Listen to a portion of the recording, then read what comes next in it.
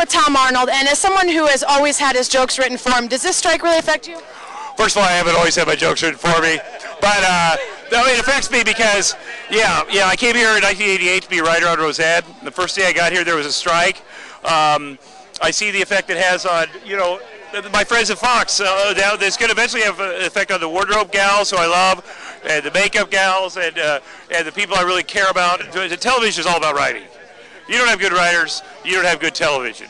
Was it important to you to be out here with everybody? Oh yeah, yeah, because I am the guild. That's uh, that's why I, I made. Uh, I've, I've been I've had a lot of luck with the guild. I mean I mean several guilds, but uh, if it wasn't for writers, you know, Arnold Schwarzenegger would never be able to say I'll be back because he never wrote that.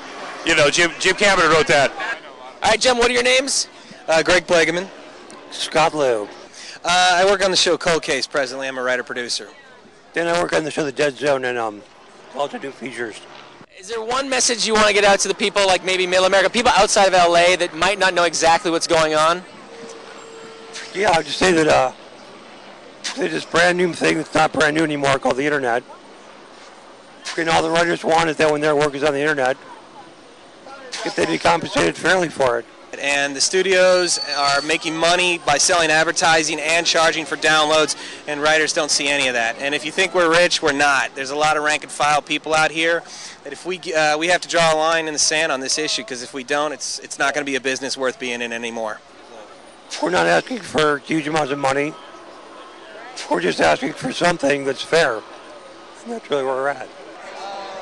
Do I have to do this the entire time? No, I'm waiting for Because him. that's going to look so stupid.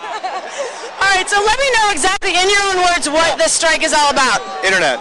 You want the rights to residuals and whatnot. Yes, if we were to, if the writers were to take a deal that didn't account for the internet, we would literally be the dumbest people alive. What you're hearing is that writers are millionaires. Not true. Most of the people in the Writers Guild are middle class people uh, with families.